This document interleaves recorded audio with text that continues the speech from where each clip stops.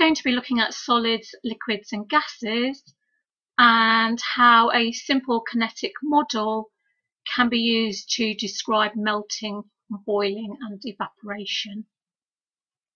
Here we can see the arrangement of the particles for a solid, liquid and gas and you can see that the spacing between the particles increases as you go from solid to liquid to gas.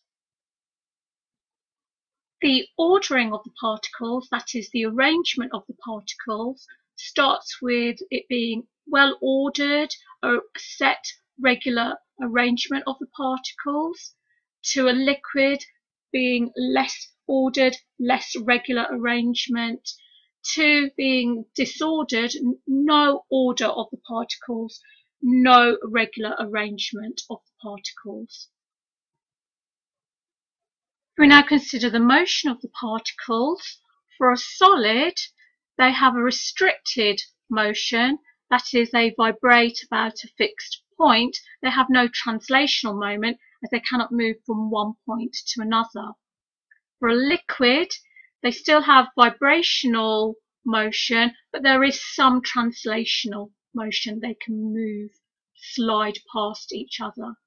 Whereas for a gas, there's no vibrational motion. There's just all translational, moving from one place to another, but the motion is free and fast and random.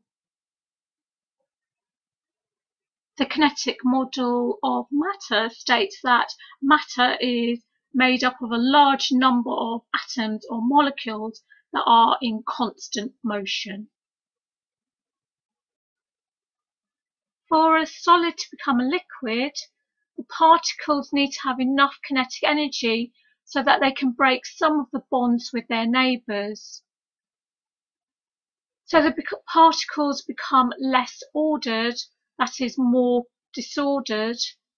And so the average spacing between the particles increases and the particles are free now to move around the bulk of the substance, meaning it's in the liquid phase.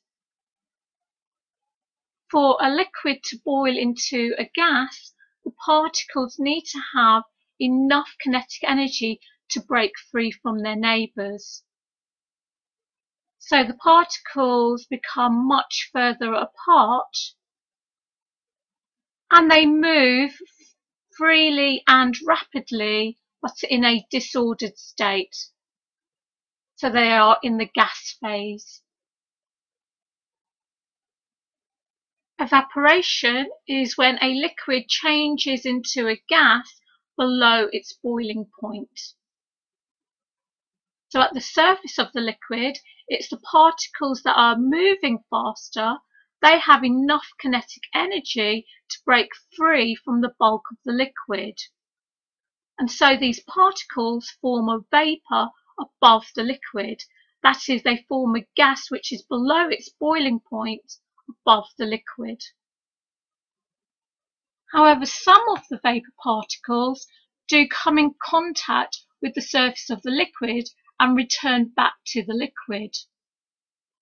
However, there is a net flow of the high kinetic energy particles leaving the liquid and this results in the liquid cooling down and this is because the average kinetic energy of the liquid particles will have decreased. Eventually, all the particles will evaporate as they'll all have gained enough kinetic energy, and that is from collisions from the other particles in the liquid, to escape the liquid surface.